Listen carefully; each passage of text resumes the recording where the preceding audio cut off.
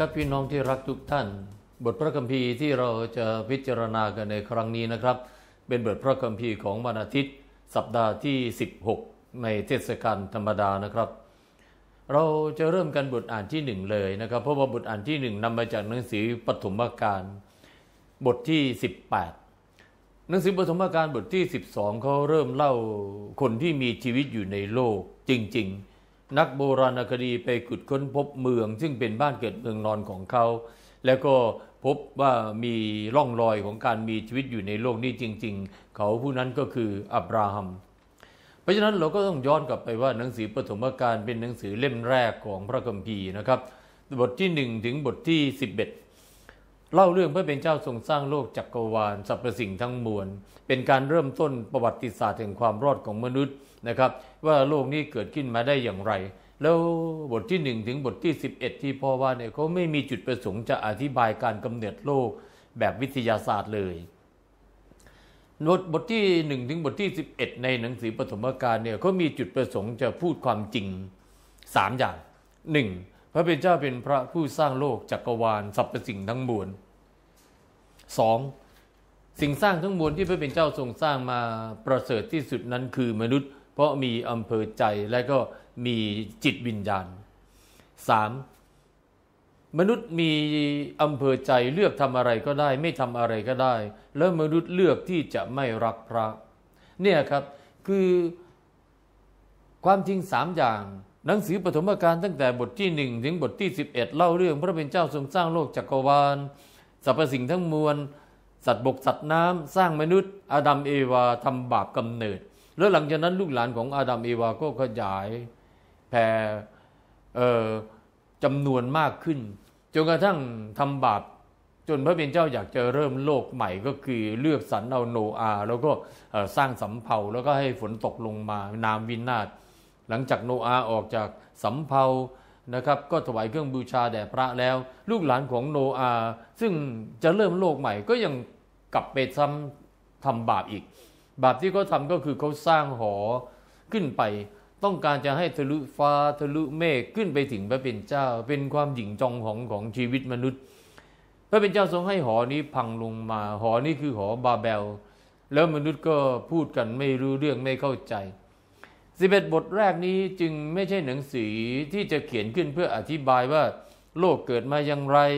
ทำไมมนุษย์ถึงมีหลายภาษาไม่ใช่เลย จุดประสงค์พ่อบอกไปแล้วนะครับ 11 บทแรกก็คือว่า พระคัมภีต้องการจะประกาศความจริงสามอย่าง พระเป็นเจ้าเป็นพระผู้สร้างโลกจักรวาลสรรพสิ่งทั้งมวลสองสิ่งสร้างที่ประเสริฐที่สุดที่พระเป็นเจ้าทรงสร้างมาสร้างสร้างมาตามภาพลักษณ์ของพระองค์ คือมนุษย์มีวิญญาณและอำเภอใจ 3. มนุษย์เลือกใช้อำเภอใจในการที่จะไม่รักพระพอจบ 11 บทแรกคราวนี้เขาเริ่มบทที่ 12 ที่พ่อบอกว่า เริ่มชีวิตของคนที่มีตัวตนจริง ๆ ในโลกละก็คืออับราฮัม แต่บทอ่านที่หนึ่งในวันนี้เมื่อเราไปวัดวันอาทิตย์นะครับเขาเอาเอเรื่องของอับราฮัมที่พ่อบอกว่าเริ่มตั้งแต่บทที่ 12คราวนี้เขาเริ่มบทที่ 18 ครับ บทที่ 18 คือเรื่องอะไร บทที่ 18 นี่เป็นเรื่องน่ารักมากเลยก็คือว่าบ่ายวันหนึ่งเหตุเกิดตอนบ่าย ขณะที่แดดร้อนนะครับอับราฮัมนั่งอยู่หน้ากระโจม เราก็ต้องจินตนาการว่า คนที่มีอาชีพเลี้ยงสัตว์เนี่ยบางทีตอนบ่ายๆสัตว์ก็อาจจะนอนพัก เพราะว่ามันร้อนไปต้อนสัตว์ให้ไปกินหญ้าคงจะทำไม่ได้ ตัวเองก็ไม่มีอะไรทำก็อาจจะมานั่งหน้ากระโจมนะครับ เพราะว่าอาจจะมีอากาศมีลมถ่ายเทไปอยู่ในกระโจมก็ร้อนอีก เพราะว่าไม่มีลมถ่ายเทอากาศร้อน กระโจมเอาไว้ใช้หลับนอนตอนกลางคืนที่อากาศหนาวเย็น ขณะที่อับราฮัมนั่งอยู่หน้ากระโจมก็มองเห็นมีชายสามคนเดินผ่านมา ตรงมาหาอับราฮัมอับราฮัมไม่รอให้เขามาถึงกระโจมอับราฮัมรีบวิ่งไปหาชายสามคน นี่บทอ่านที่หนึ่งเล่า เราลองค่อยๆ พิจารณาบุคลิกของอับราฮัมคนนี้นะครับอับราฮัมวิ่งไปหาชายสามคนกราบลงแทบเท้า การกราบลงแทบเท้านี้ไม่ใช่การนมัสการพระเจ้า แต่เป็นกิริยามารยาทที่รู้สึกว่าอยากจะต้อนรับ แล้วก็บอกกับชายสามคนบอกว่า ถ้าท่านไม่รังเกียจที่บ้านของข้าพเจ้าเนี่ยมีน้ำข้าพเจ้าจะล้างเท้าให้ท่านสักเล็กน้อย และที่บ้านของข้าพเจ้าเนี่ยพอมี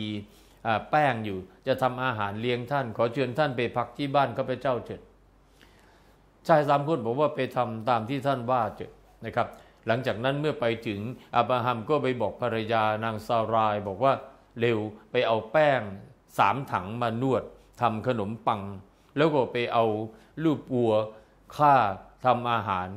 เริ่มเป็นอาหารแล้วก็เอามาให้ชายทั้งสามคนรับประทานนะครับ แล้วก็อับราฮัมพระคัมภีร์บอกอับราฮัมยืนอยู่คอยรับใช้ เราก็นึกถึงภาพแบบคนไทยว่าคอยยืน อาจจะยืนกุมมือคอยเติมน้ำไม่ให้พร่อง เคยคอยเสิร์ฟอาหารอย่างนี้บุคลิกของอับราฮัมทำไมทำแบบนี้นะครับ เดี๋ยวเราจะค่อย ๆ ดูกันนะครับ แต่เราลองฟังเรื่องต่อไปปรากฏว่า หลังจากที่ชายสามคนนี้รับประทานอาหารเสร็จแล้ว ปรากฏว่าชายคนหนึ่งในสามคน พระคัมภีร์เริ่มใช้สรรพนามใหม่แล้ว ตอนแรกบอกชายสามคนคนนี้ พระยาเวตรัสว่า โอ้ชายสามคนนี้คือพระเป็นเจ้า แปลกนะครับ เวลาพระคัมภีร์จะพูดถึงพระเป็นเจ้าทำไมต้องมาเป็นชายสามคน แต่ในสมัยนั้นเขายังไม่มีความรู้เรื่องพระตรีเอกภาพพระบิดาพระบุตรพระจิตเขาไม่มีความรู้เรื่องนี้ ชาวยิวนับถือพระเป็นเจ้าหนึ่งเดียวส่งพระนามว่าพระเจ้าเวแล้วพอชายหนึ่งในสามคนพูดกับอับราฮัมบอกว่าปีหน้าวันเดียวกันนี้ เราจะมาที่นี่อีกแล้วภรรยาของท่านจะตั้งครรภ์นางซาราอยู่ข้างหลังกระโจมก็ได้ยินนะครับ ก็หัวเราะใหญ่เลยนะครับนะแล้ว ชายทั้งสามคนนะครับเขาก็ใช้สรรพนามพระยาเวอีกถามว่าเจ้าหัวเราะอะไร แล้วนางซารายก็บอกว่าข้าพเจ้าไม่ได้หัวเราะ ชายสามคนก็บอกว่า อย่าโกหกเจ้านะหัวเราะ เรื่องนี้จะนำเราไปสู่ความคิดใดพบกันช่วงที่สองครับ แล้วอรุณของวันใหม่ ก็เริ่มทอแสงสดใสอีกครั้งหนึ่ง รายการแสงธรรม ดุจแสงทองส่องชีวิตโมเดิร์นไนน์ทีวี ช่อง 9 อสมท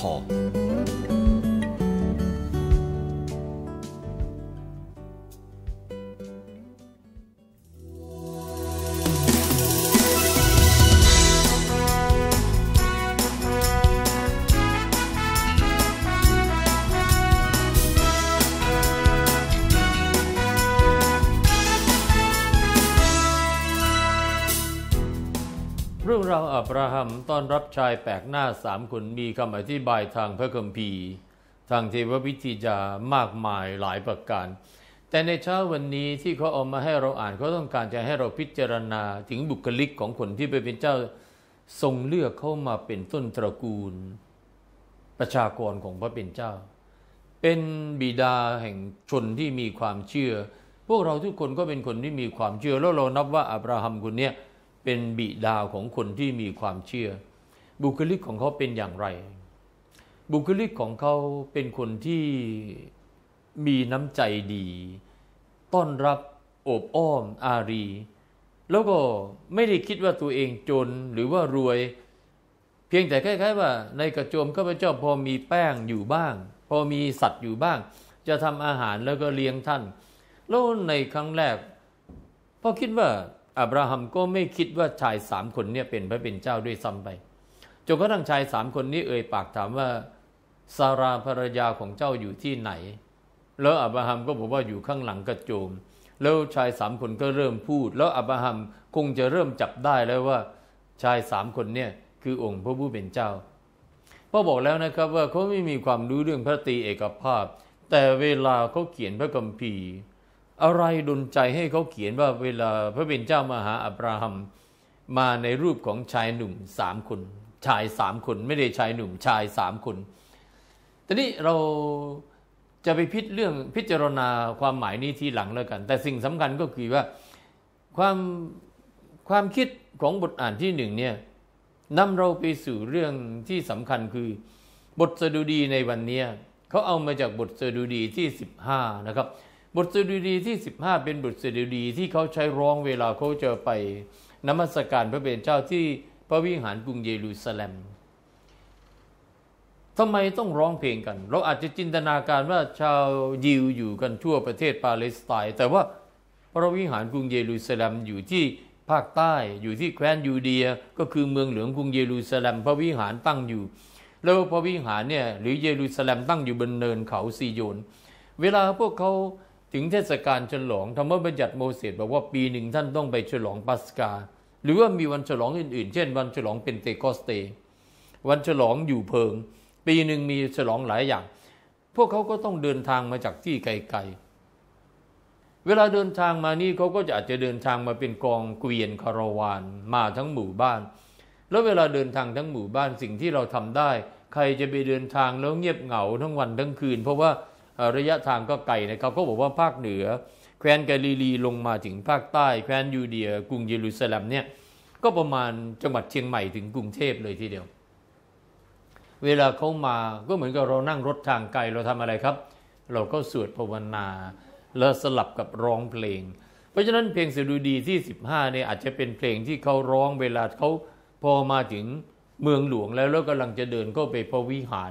ดีใจมากเหนื่อย เดินทางทั้งวันทั้งคืน เห็นยอดพระวิหาร เห็นโดมพระวิหารมาแต่ไกล แล้วก็จะเข้าไปในพระวิหาร ที่สุดคนก็แต่งเพลงนี้ขึ้นมาคือเพลงของคนที่จะเดินเข้าไปในพระวิหาร แล้วเอามาร้องกันในเวลาอาจจะเป็นเพลงเริ่มต้นศาสนาพิธีอะไรสักอย่างหนึ่ง แต่เป็นบทสดุดีบทที่ 15 นี่มีใจความที่วันนี้เราไปวัดเขาจะอ่านกันนะครับเขาอ่านแบบนี้ครับบทสดุดีที่ 15 ก็บอกว่า ใครนะมีสิทธิ์ที่จะเข้าไปในพระวิหารของพระเจ้านะครับ เออ มันก็เป็นเนื้อหาที่ไพเราะมากเลยนะครับ เพราะฉะนั้นในวันนี้เราลองฟังบทสดุดีที่ 15 สักเล็กน้อยนะครับ บทสดุดีที่ 15 บอกว่า ข้าแต่พระยาเวผู้ใดจะอาศัยในกระโจมของพระองค์ได้ ผู้ใดจะพำนักบนภูเขาศักดิ์สิทธิ์ของพระองค์ ผู้นั้นคือผู้ที่ดำเนินชีวิตอย่างไม่มีที่ติ ปฏิบัติความชอบธรรมพูดจากความพูดความจริงจากใจของตน ผู้ที่บังคับลิ้นของตนไว้ไม่ใส่ความ ไม่ทำร้ายผู้อื่น ไม่ใส่ร้ายเพื่อนบ้าน ผู้ที่เหยียดหยามคนเลวทราม แต่ให้เกียรติผู้ยำเกรงพระยาเว ยืนยันคำสาบานแม้จะต้องเสียหาย ผู้ที่ให้ยืมเงินโดยไม่คิดดอกเบี้ยผู้ไม่รับสินบนปรักปำผู้บริสุทธิ์ ผู้ใดประพฤติเช่นนี้จะไม่หวั่นไหวตลอดไป บทเพลงสดุดีนี่เป็นบทสดุดีที่จะเข้าไปในพระวิหาร แล้วก็ก็ตั้งคำถามสำคัญคำถามสำคัญนั้นก็คือคำถามที่ว่าใครนะ จะมีสิทธิ์เข้าไปบนภูเขาของพระเป็นเจ้าได้ ภูเขานี่คือภูเขาซีโยน หรือว่าออกเสียงในภาษาสากลว่าไซยอน ใครน่าจะขึ้นไปบนภูเขาของพระเจ้าได้ ข้อนี้จึงเป็นข้อคิดของเราในวันนี้ว่าบทอ่านที่หนึ่งบุคลิกของอับราฮัมเป็นบุคลิกของคนที่มีเมตตาเขาเป็นคนที่พระเป็นเจ้าทรงเลือกสรรแต่ในชีวิตจริงเขาสามารถจับปฏิบัติความรักความอบอ้อมอารีได้จริง ๆ แม้กับชายสามคนแปลกหน้าไม่รู้จัก เพราะนั้นเพลงสุดดีจึงจำว่า เธอกำลังจะเข้าไปในวัดนะ แล้วเธอจะไปปฏิบัติศาสนกิจ ใครนะเป็นคนที่เหมาะจะเข้ามาในวัดคู่ควรกับการได้มานั่งในวัด บางครั้งพ่อเริ่มพิธีมิสซานะครับทำมิสซากับสัตบุรุษ หลังจากที่พ่อเดชพระนามพระบิดา และพระบุตรและพระจิตอาเมน แล้วพ่อก็ทักทายสัตบุรุษเสร็จแล้วพ่อก็เริ่มต้นคำทักบอกว่าพี่น้อง ใครเล่ามีสิทธิ์มานั่งอยู่ในที่นี้ เพื่อเขาจะได้คิดได้ว่าเออใครนะมีสิทธิ์มานั่งอยู่ในที่นี้ แต่ในพระคัมภีร์บอกว่า เขาผู้นั้นคือคนที่มีมือสะอาดและใจบริสุทธิ์ อยู่บ้านเขาไม่เอาเปรียบเพื่อนบ้าน เขาไม่เขาไม่พูดจาดินทาว่าร้ายผู้อื่น ผู้เนี่ยคนพวกนี้ที่ปฏิบัติอย่างเนี้ยแสดงว่าบทอ่านในวันนี้ก็กำลังจะนำเราไปสู่คำคิดที่ว่าคนที่ปฏิบัติศาสนกิจไปวัดแก้บาปรับศีลกับชีวิตจริง จะต้องเป็นชีวิตที่เป็นไปในแนวเดียวกัน ก็คือเป็นชีวิตที่ห่างไกลบาปไม่ทำบาปเดี๋ยวเราจะกลับมาพิจารณาเรื่องนี้ต่อในช่วงที่สาม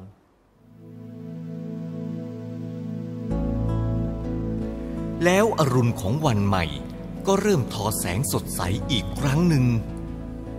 รายการแสงธรรม ดุดแสงทองส่องชีวิตโมูดนายทีวี ช่อง 9 อสมท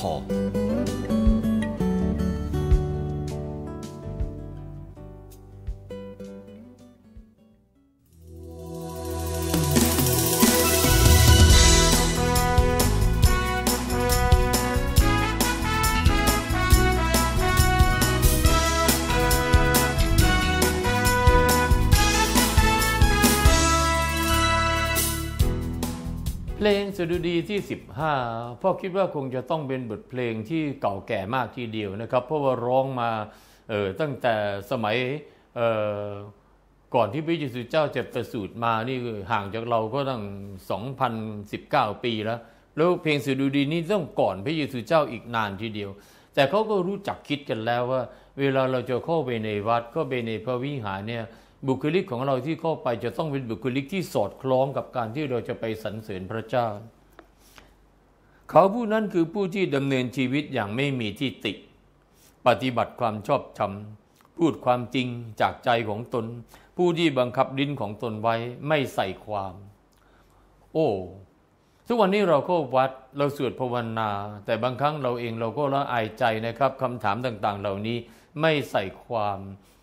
บังคับลิ้นของตนไว้ได้ ไม่ทำร้ายผู้อื่น ไม่ใส่ร้ายเพื่อนบ้าน ผู้ที่เหยียดหยามคนเลว แต่ให้เกียรติผู้ยำเกรงพระยาเวเหยียดหยามคนเลวก็อาจจะหมายความว่า ไม่นิยมชมชอบคนที่ไปทำร้ายคนอื่น คนที่เป็นอันธพาลแต่ชื่นชมคนที่ยำเกรงพระยาเว แต่ว่าบุคลิกต่อมานี้ยิ่งน่าทึ่งใหญ่เลยครับ เขายืนยันคำสาบานแม้จะต้องเสียหาย ได้สัญญาอะไรกับใครไว้ไปแล้ว แต่พอฉันเสียผลประโยชน์ก็กลับคำสัญญาเขาไม่เป็นอย่างนั้น ไม่รับสินบนปักปั๊มผู้บริสุทธิ์ ให้ยืมเงินโดยไม่คิดดอกเบี้ย ข้อนี้จะปฏิบัติได้จริงๆไหมและถ้าหากพี่น้องมีชีวิตอยู่ในทุกวันนี้พี่น้องออปฏิบัติเช่นนี้ พระศาสนาจักรก็ไม่ได้ตำหนิพี่น้องหรอกครับ แต่เมื่อไหร่ที่เราคิดดอกเบี้ยจนทำให้ชีวิตเขาทุกข์ยากลำบาก อันนี้แหละครับ เราเริ่มทำลายเขาแล้วเราประกอบกิจการงานต่างๆ ทุกอาชีพเราก็ต้องการกำไรด้วยกันทั้งนั้นนะครับ แล้วก็เป็นหลักการที่เราซื้อถูกขายแพง แต่เมื่อไรก็ตามที่เราทำแบบนี้ซื้อถูกขายแพง ให้กู้เงินแล้วทำให้ชีวิตคนอื่นเขาลำบาก ทุกทรมาน ตอนนี้เราเริ่มไม่ใช่ลูกของพระแล้ว ในความหมายนี้ แล้วบทสดุดีที่ 15เนี่ยปรากฏว่าในอดีตเคยมีคนมาแต่งเป็นเพลงนะครับเขาเอาไปผสมกับบทเพลงสดุดีที่ 123 เพลงสดุดีที่ 123เนี่ยเขาเข้าไปสวดในวัดเขามีความทุกข์ใจ แล้วเขาบอกว่าเขาเนี่ยลืมตามองดูพระเป็นเจ้าอยู่บนสวรรค์เหมือนบ่าวมองดูนายนะครับ มองดูที่มือของนาย เออบทสดุดีที่ 123 พูดแบบนี้ มันแปลว่าอะไรครับ มันแปลว่า พวกคนใช้ทาสเขาไม่มีสิทธิ์ที่จะสบตาเจ้านาย เวลาเขามองเขาก็ได้แต่มองมือทำไมมองมือ เมื่อไหร่นายจะกวักมือเรียกเขาเออคนเขียนบทสดุดีก็เลยแต่งเป็นเพลงสดุดี บอกว่าก็พระเจ้าเนี่ยลืมตามองดูพระองค์เหมือนบ่าวดูนาย ไม่กล้าสบตา ดูที่มือนาย แล้วแต่งเป็นเพลงเพราะเลยครับ เราลืมตามองดูพระองค์ ผู้ทรงสถิตอยู่บนสวรรค์เรามองดูพระองค์ เยี่ยงเบาดูนายเพราะพระองค์เป็นพระเจ้าของเรา เราลืมตามองดูพระองค์ผู้ทรงสถิตอยู่บนสวรรค์ใครเราจะสามารถบรรลุถึงผู้พาแห่งนักบุญ ใครเราจะสามารถทำได้ ถ้าเขามีจิตใจบา เราลืมตามองดูพระองค์ผู้ทรงสถิตอยู่บนสวรรค์เรามองดูพระองค์ เยี่ยงเบาดูนายเพราะพระองค์เป็นพระเจ้าของเรา เราจะเห็นว่าเขาเอาบทสดุดีสองบทมาผสมกัน คือบทสดุดีที่ 15 ซึ่งวันนี้เราไปวัด แล้วคนอ่านจะอ่านให้เราฟังเอาบทสดุดีที่ 123 แต่วันนี้คำที่พ่ออยากจะไปส่งคำถามกลับไปอย่างจิตใจ พี่น้องที่ฟังรายการพระกับบีที่ฉันรัก ก็คือว่า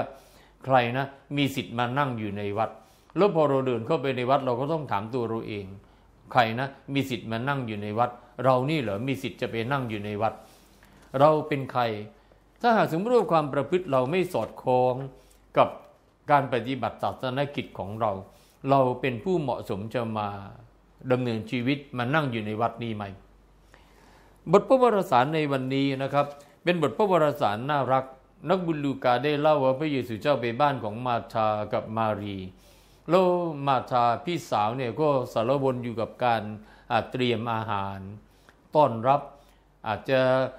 ต้อนรับแบบชาวยิวก็เอาน้ำมาล้างเท้า ไปเตรียมน้ำเตรียมอาหาร แต่ว่าน้องสาวของเขาชื่อมาธาเนี่ยนั่งอยู่แทบพระบาทของพระเยซูเจ้าแล้วก็สนทนา ที่จริงในธรรมเนียมของชาวยิวนะครับ ผู้หญิงเนี่ยไม่สามารถจะมานั่งคุยกับอาจารย์อย่างนี้ได้ แต่เพราะว่าครอบครัวนี้พระเยซูเจ้าทรงเอ็นดูเขาในขณะที่พี่สาวเนี่ยกำลังเตรียมหลายสิ่งหลายอย่าง แล้วน้องสาวก็นั่งอยู่แทบพระบาท แล้วก็สนทนากับพระเยซูเจ้าพ่อก็จินตนาการไปว่าเขาคงมีความสุขที่พระเยซูเจ้ามาบ้าน แต่ความสุขของเขาแสดงออกสองแบบ คนพี่ก็คือว่ากวีก็ว่าเตรียมข้าวของ คนน้องมานั่งอยู่ที่แทบพระบาทแล้วชื่นชมพระบารมีพระเยซูเจ้า มีความสุขกับพระเยซูเจ้า ชีวิตของคนทั้งสองที่แตกต่างกันนี้อาจจะสะท้อนมาอย่างชีวิตของเราที่มีสองรูปแบบ พระเยซูเจ้าเอ็นดูทั้งสองแบบนะครับ จนกระทั่งวันหนึ่งคนที่ไม่ได้นั่งคุยกับพระเยซูเจ้าทำงาน แล้วรู้สึกอดรนทนไม่ได้ มาธาก็พูดออกมาบอกว่า พระองค์ไม่เห็นหรือก็พระเจ้าเนี่ยเตรียมงานหนักทำงานวุ่นวายมากเลยช่วยบอกน้องให้มาช่วยหน่อยสิพระเยซูเจ้าทรงเอ็นดูทั้งพี่ทั้งน้องอะครับ แล้วเราไม่ต้องไปเถียงกันนะครับ ว่าบอกว่า เออตกลงจะเอายังไงดี งานการก็ต้องทำนะในบ้านสวดภาวนาก็ต้องทำนะ แล้วพวกหนึ่งเอาแต่สวด อีกพวกหนึ่งทำงานอยู่พวกเดียวพพี่น้องจะสังเกตเห็นนะครับว่าต่างคนต่างก็มีความสุข คนทำงานบางทีก็อาจจะเป็นคนมีความสุขอยู่กับการงานเพราะก็มาฟังแล้วก็ไม่ชอบ ก็ไม่ชอบการฟังเทศ ก็ไม่ชอบการมาศึกษาพระคัมภีร์แต่ให้เขาไปไปหุงหาอาหารไปอยู่ในครัว ไปเตรียมกับข้าวกับปลาเดี๋ยวคนเลิกวัดแล้วมากินเขาชอบมากเลยเขามีความสุขอย่างนี้ ทั้งสองพวกเนี่ยพระเยซูเจ้าทรงรักทั้งสองฝั่ง จนกระทั่งวันหนึ่งคนที่ไปเตรียมอาหารเกิดรู้สึกอึดอัดแล้วพูดออกมา พูดออกมาบอกว่าพระองค์บอกให้พวกนี้มาช่วยข้าพเจ้าบ้าง พระเยซูเจ้าก็เลยสอนทั้งสองคนนะครับ บอกว่าชีวิตของคนเราเนี่ยไม่ว่าเธอจะเป็นคนที่ไปเตรียมอาหารให้คนอื่นกิน หรือไอ้พวกหนึ่งที่สวดภาวนาแต่อย่างเดียว สิ่งสำคัญที่เธอต้องยึดไว้ให้ได้ก็คือการที่เธอเนี่ยฉวยโอกาสที่จะเข้าใกล้พระที่สุดในชีวิตของเธอ เพราะการเข้าใกล้พระที่สุดในชีวิตของเธอเนี่ยมันจะไม่มีใครมาแย่งสิ่งนี้ไปจากเธอได้ ความชื่นชมยินดีในองค์พระผู้เป็นเจ้า เป็นพละกำลังของเรา สวัสดีครับ